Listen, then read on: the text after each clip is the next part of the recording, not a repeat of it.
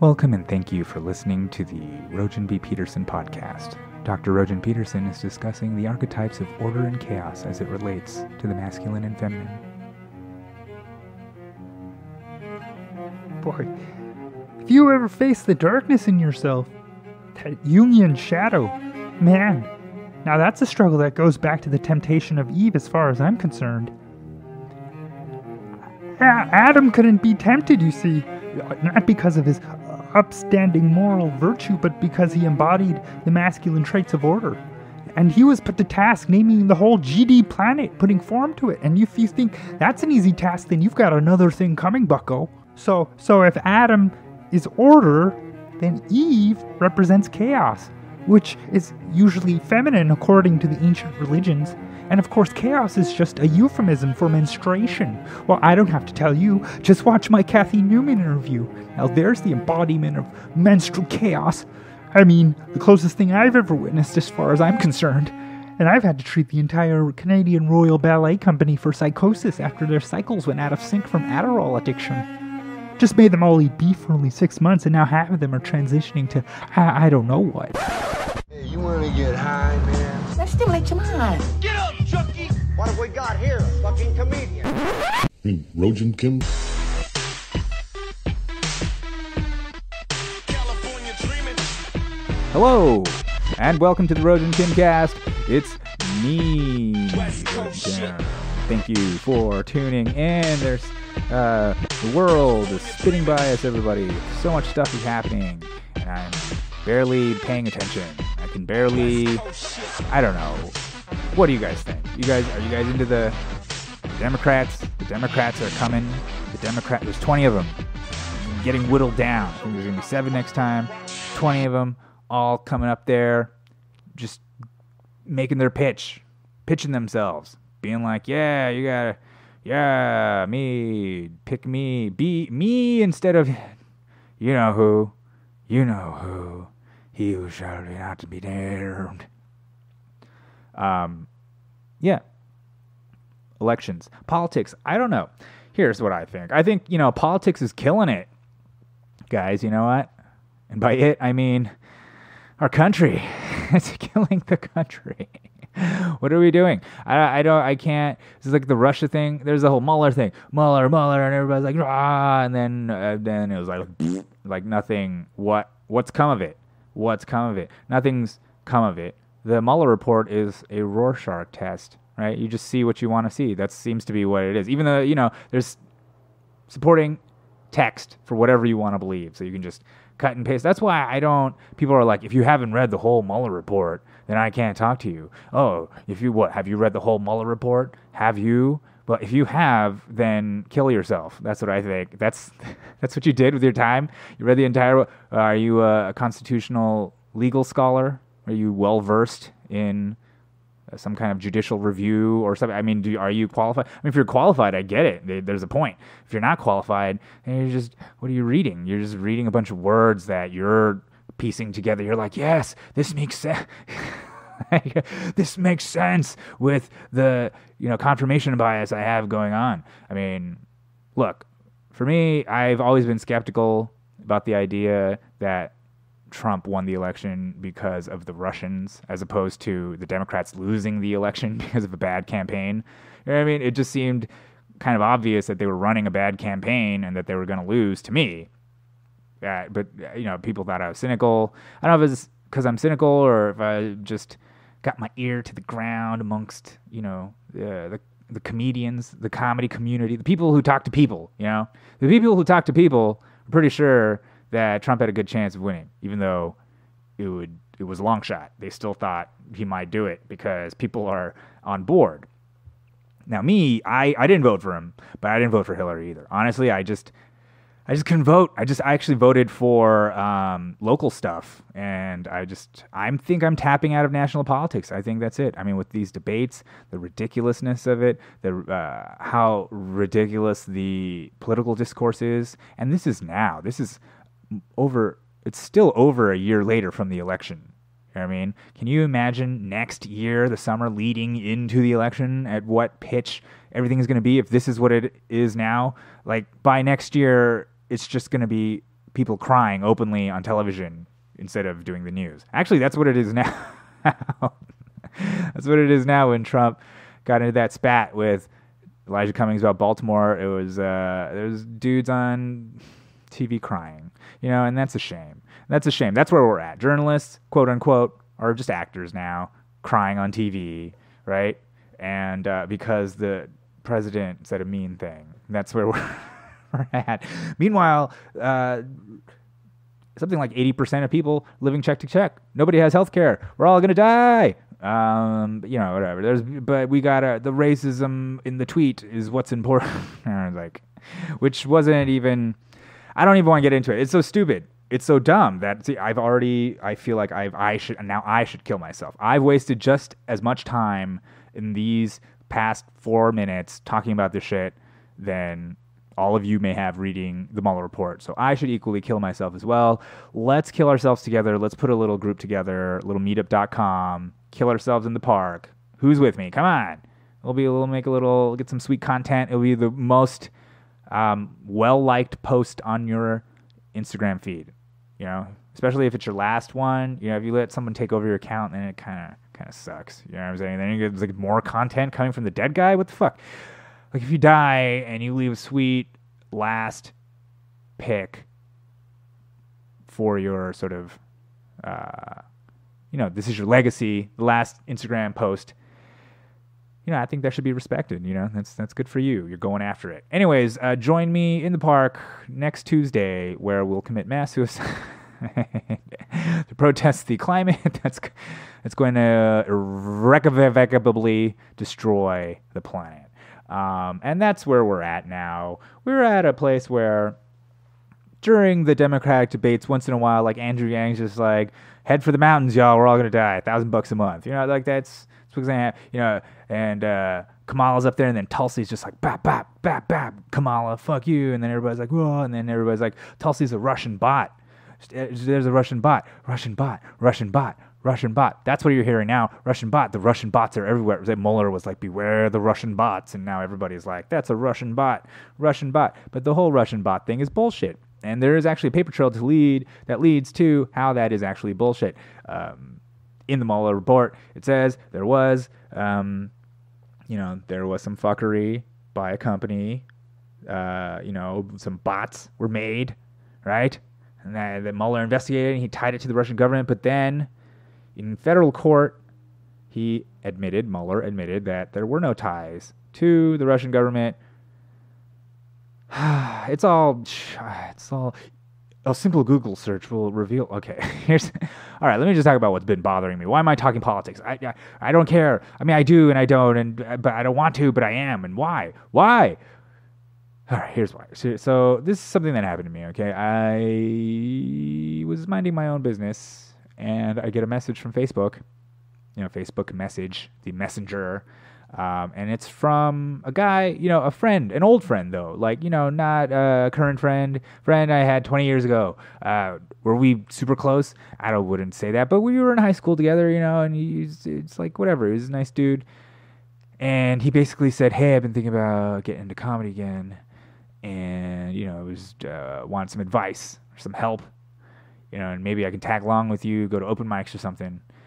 And yeah, I didn't know how to respond to that, you know?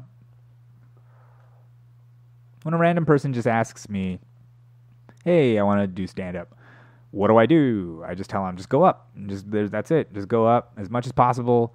And if you can't get up in your town, try to make it happen, you know? Just make an open mic night. Just something just keep getting up. That's all you got to do over and over for years. It's really simple. I mean, it's hard, but it's simple. You know, it's just in action.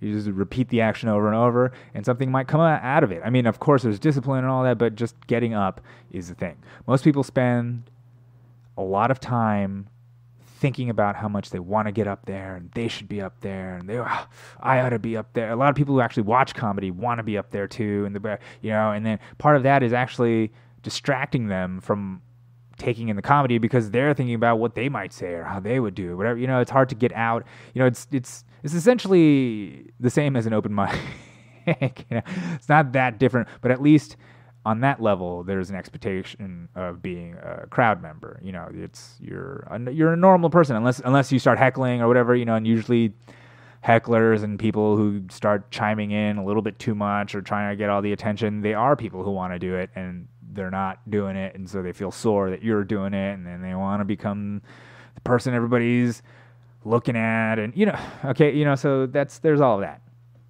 Okay, so randos, people I don't know, I just go, you know, just go up. But with this guy, you know, he was an old friend. So I, at first, I felt like I'd be like, just go up, dude. And honestly, I don't want to. This is kind of harsh, I guess, right? But I don't think stand up comedy is about friends and this is probably why I have no friends. But I, okay, hear me out. I'm, what I'm saying is not that you shouldn't make friends in comedy. Of course, you're gonna make friends in comedy because you have similar interests. You fuck around. You know, you talk in a way that you can that you can't with other people. There's a level of understanding, right? That's natural. That happens in any context. So I'm not saying don't make friends. What I'm saying is that stand-up comedy is not about friends. So Imagine you're doing comedy and you have a room filled with friends. They all like you. You know, there's automatically an advantage you have just by being liked.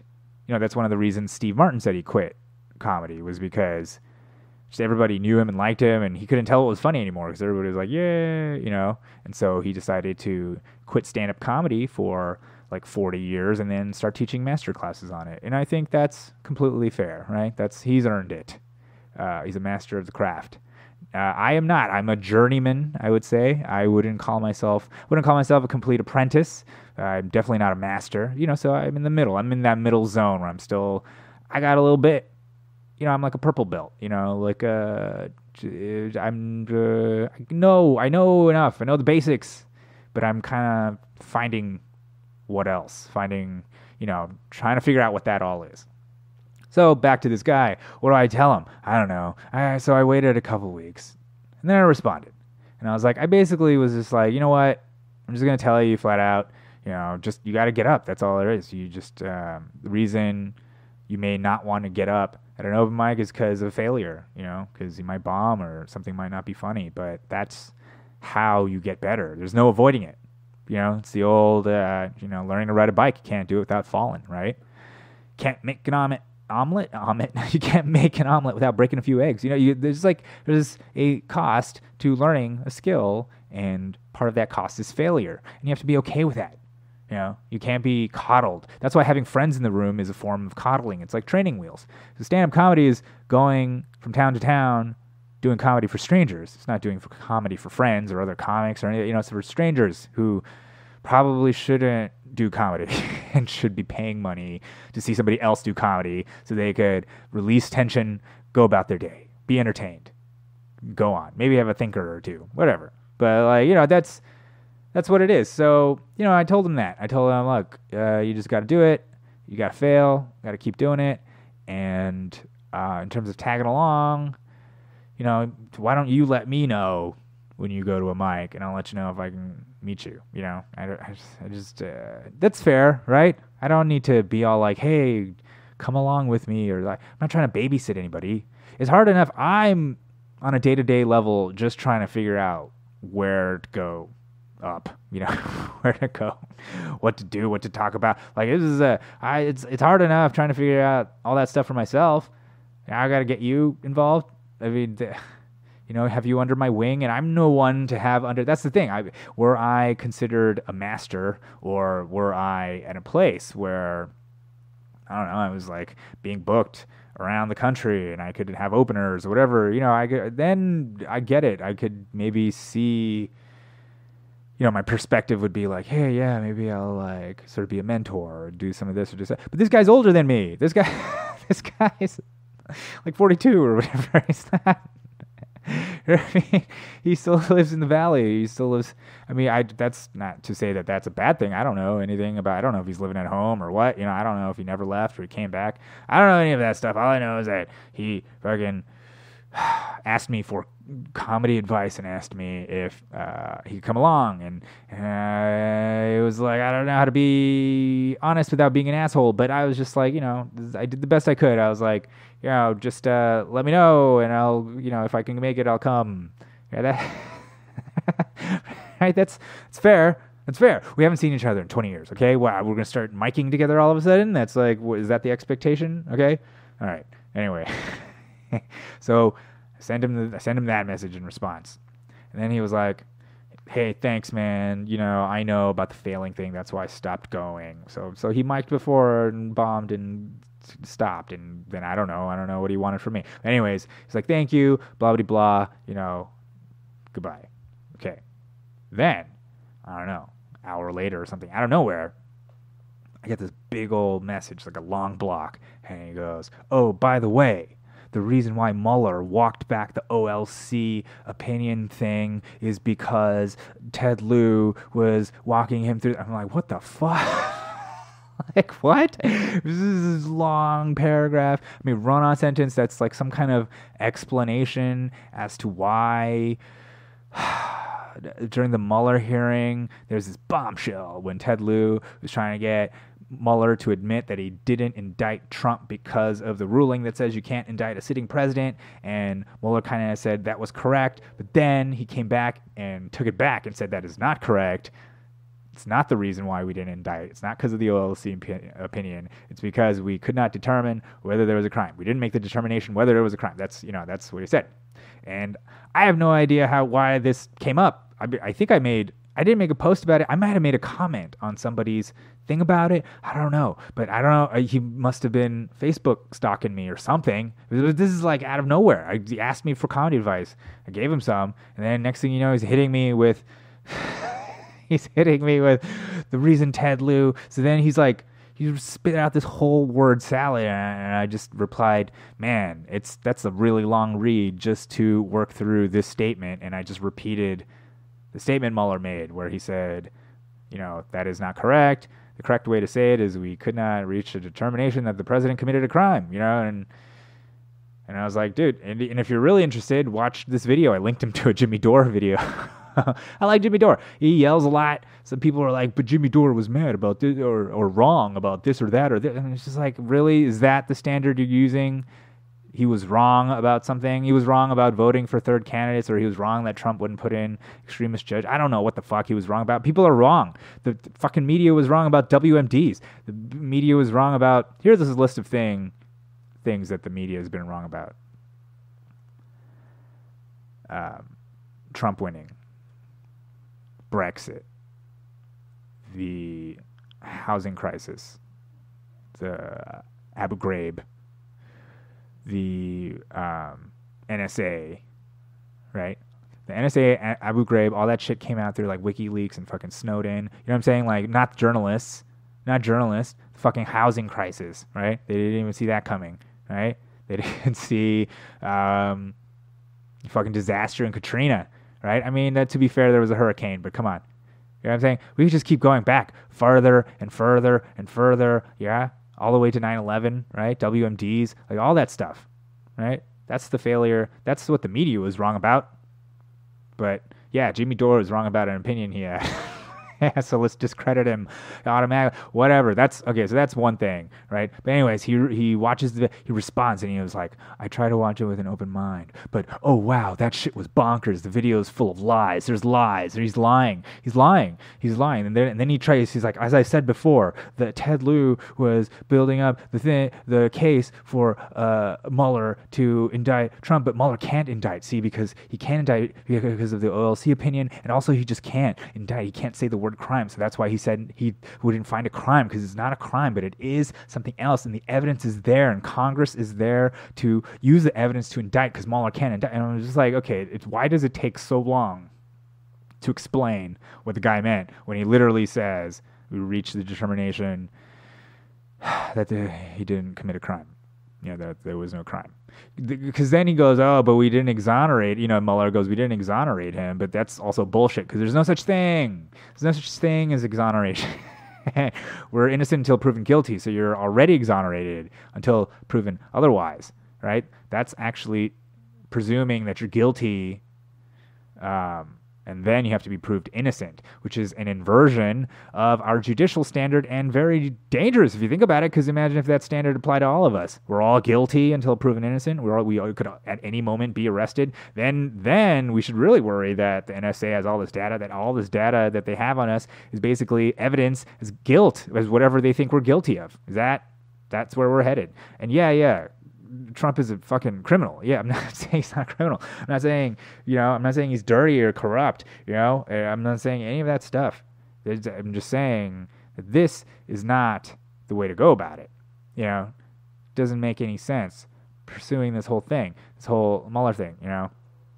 So, anyways, um, he responded this, and it was this weird passive aggressive language of like a simple Google search will reveal all these things are debunked, but he didn't re- reply with any sources, no sources, but just more kind of the same gobbledygook that I think he must have just heard from the news. This idea that Ted Lieu and the OLC opinion and this and that, and then he'll interject. It is weird that Barr and Mueller agreed that it isn't because of the OLC opinion, but we'll just discard that for a second and then go on about you know. And it's just like um, it's really like Charlie or fucking, you know, Charlie and Always Sunny when he's in the mail room, fucking doing the beautiful mind thing. It's basically the beautiful mind thing. The fucking, you know, you're just there, and then, and it's over here, and then, but, but if you really look into it, look into it. That's why I wanted him to cite things, cite sources, give me some sources, because I gave him sources. You know, I gave him the actual text of the testimony. I gave him the Jimmy Dore show that had a. Uh, they had footage of the testimony, and they had uh, award-winning journalist Aaron Mate. You got to check out Aaron Mate, guys. Just a little side note: Aaron Mate is fucking awesome. Gray Zone. Uh, his dad's Gabor Mate. He's fucking. If you know who that is, you know that this is a good family. It's a good family. You know what I'm saying? They're not fucking. They're not like lizard people. You know what I'm saying? They're not lizard people. That was the other thing my friend did was accuse Jimmy Dore and Aaron Mate, everybody on that video of being like conspiracy theorists, and was like, "Have you seen the? Sh- it's like a comedy show. Yeah, they're progressive. They're like, uh, you know, kind of almost socialist, but whatever, whatever. The, the truth is truth. Like you know, a lot of times people don't won't listen to the other side of the mainstream argument because it's from Fox.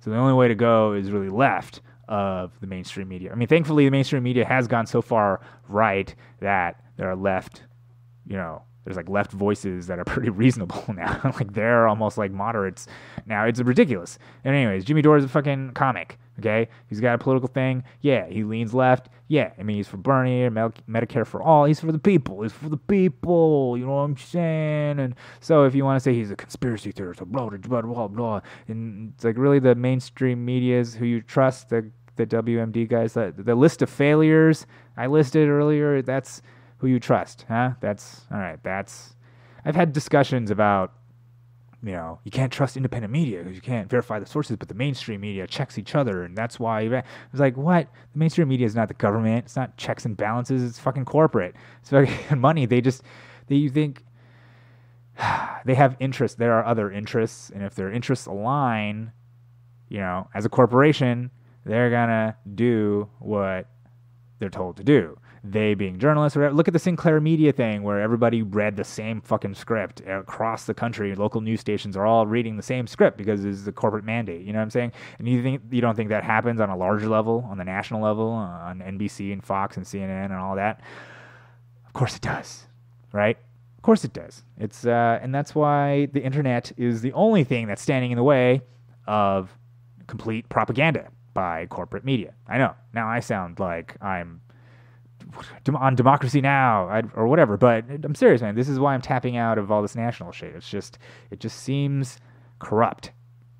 All of there's a, the corruption is endless, and now they're doubling down on this whole Mueller thing, the RussiaGate thing. They're doubling down on all of it. Anyways, so I responded to my friend. I said, "Man, if you want to have a polite conversation, you can't be passive aggressive." And be like, oh, a simple Google search, uh, this shit is bonkers, and a simple Google search will show without having any actual citations. And then, you know, this is easily debunked and without saying what, you know, what points you're making. Like, you know, just, it's just saying sort of like dismissing the argument altogether without actually making an argument, right? And that's of course a complete uh, logical fallacy. Uh, one is it's an ad- hominem where you're like, ah, you're crazy or whatever, you know, or appeal to motive where you're like, oh, these guys are conspiracy theorists and you can't believe, you know, it's like yeah, ways to discount people, you know. And so I just fucking I let him I let him have it, but in a very polite way. I said, hey.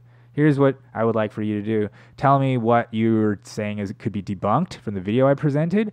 Show me the sources that you're citing, and tell me about your analysis of this whole OLC thing because yeah, one of the things he said was like, you know, uh, I don't like to talk to people who haven't read the whole report, you know, because they're just saying what other people have told them, which is hilarious, right? That's what he's doing. So I was just, I basically just said, look, it doesn't matter if you read the whole report or not if you don't have a background in this stuff. And no offense, but that's not the vibe I'm getting from you. you know what I'm saying? Like, I don't.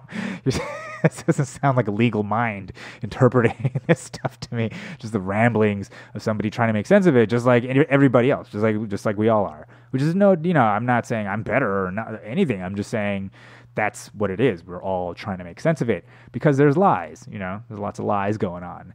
Um, so anyway, sent him that. He said he would respond with his citations, whatever. I'm still waiting, of course. I would love to see how he has proved the that there was a conspiracy and a crime was committed, even though the actual investigator could not. Um, I would. He might have cracked it. My friend might have cracked all of RussiaGate. They're all going down. Bombshell guys. The entire Trump dynasty is going to crumble. Boom. Um, well, hey, we can all hope. I, I, either way, I'm here to just fucking eat popcorn and watch it as it all goes down. So yeah, I'm kidding. I don't really like popcorn, but I no, I'm kidding again. I like popcorn, but it's a figure of speech. Anyway, anyway, here's the thing, guys. I've noticed, you know, people are very emotional in their arguments lately. Super emotional, not really using logic. You know, and I guess it's not their fault. We actually have no critical thinking left in this country. It's all commercials. It's all get this and want that, and it, you know, advertising techniques rely on logical fallacies to persuade you to commit uh, unreasonable actions, right? Thing, things that don't make sense. Buy more shit than you need to. You shouldn't be questioning the validity of people's claims. You need it. You need to be a blue text bubble. You need a blue text bubble, and those green text bubble people are garbage. Don't even associate with them. Be nervous. Nervous.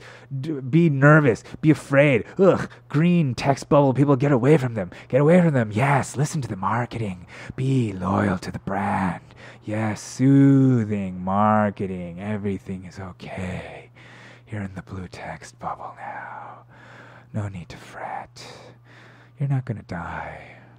The world isn't going to end. Resources are endless. You'll live forever. Everybody loves you. Right? And that's what we want. That's what we want. And, uh, you know, I, I don't blame people for clinging to that, wanting it desperately, but at the expense of what? Our country, our society, critical thinking, reason, and public discourse. yeah, just a couple things like that. You know, notice lately, you know, like Tulsi. Okay, so Tulsi smacked down Kamala Harris. I like Tulsi Gabbard. Okay, I like her. I like her. Uh, is it because she's hottie? She's a hottie? Yeah, she's a hottie. But that's not why. Is it because she served? It's fucking awesome. It's because she's anti war. Honestly, because she's anti war. She's the only one, really, and the only one who served and is anti war. And she was on the Joe Rogan experience, so that's also a plus. Andrew Yang also, you know, so that's always it warms the cockles of my heart. But anyway, people are saying Tulsi's a Russian bot or Russian bots are associated with Tulsi. A lot of Russian bots going with Tulsi. What does it mean? Mara Tulsi is a Rus- Russian bot. That's the reason. Russian, Russia. This Russia shit again. The Russia shit. When it, nothing has come of it, it, when it's not being blasted all over the news, but Mueller himself admitted that there was no real connection between these Russian troll farms and the government, and that their impact was minimal. He admitted that stuff, you know, just not on TV and not, and the news wasn't reporting it, but whatever. Russian bots, huh? That's what it. And people ask, why do these Russian ba- bots associate with Tulsi? Surely there must be some reason. But see, that is what we call guilt by association, right? That's an ad hominem attack. Ad hominem right? An attack on the person. So first you're saying this person is a bad person. Bad person. Why? Because look at all these other bad people around them. Why are they around them? She must be bad too if these bad people like her. But that is a terrible standard because if you think about it, it goes the other direction. Well, let's look at you, you, and who follows you. Let's look, go through the list, find out. Like, oh, look at this. Looks like the bankers follow you. The bankers love you. Why is that? We have to ask ourselves, why do the banks love so many of the candidates in the Democratic Party? Right? Why? Is it because they're beholden to them? Is it because they'll just do whatever their banking masters tell them? Is that why? Well, let's go through, you know, your followers. Let's see if we find a racist. If we find one racist in your follower count, does that make you racist? Are you now responsible for what that person does? See, none of this makes any sense. Of course, it doesn't make sense, and that's why it's guilt by association. This is what happened during McCarthyism, right? People were commies, and you're like guilty just for knowing a commie, right? Now you're just fucking infected by the commie, uh, like bug or whatever. Like it's it's treated as a almost quarantine infestation. You know, the the obsession people have now with this idea that we're living in pre-Nazi Germany and we're they're about to do ethnic cleansing at any moment and everything is so high pi- it's so high pitched that we're probably going to miss it when they do eth- actually ethnically cleanse us. You know what I'm saying? When I'm ethnically cleansed, guys, you think it's going to be you? White people? No, it's to be me, all right? And then great. Thanks a lot, guys. You fucking you're fucking screaming about the, the boy who cried Russia, right? You're screaming about Russia the whole time. Next thing you know, I'm taken off to a camp. Nobody cares, right? Who would care about a middle aged guy getting executed just for being Asian? Nobody. That's it. Nobody except maybe Tulsi. All right. I don't care if Russians love Tulsi. All right. Second, she makes some good points about the war. All right. I don't know if that means she should be president, but I'm just saying, you know, guilt by association. Think about what a logical fallacy that is. You know. Think about the logical fallacies going on in life. See if you can spot them. Does it make sense? Does it make sense? Just because something is followed by somebody else doesn't make it bad, right? You gotta, you gotta think through things. Anyways, guys, it's been great talking to you guys. I have been having a blast podcasting. Got some guests coming up. It's gonna be a great time. Please follow me out there, Instagram and Twitter at Rogin Kim. Go to roginkim.com. Follow me. Go to my YouTube, iTunes me, Stitcher me, or Apple, or whatever the fuck. Get out there. Subscribe to my podcast. Thank you so much for listening. Until next time.